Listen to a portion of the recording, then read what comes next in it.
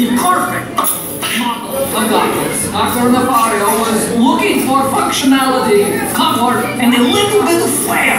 Finally, he chose the cheap but sensible goggles that you are holding in your hot little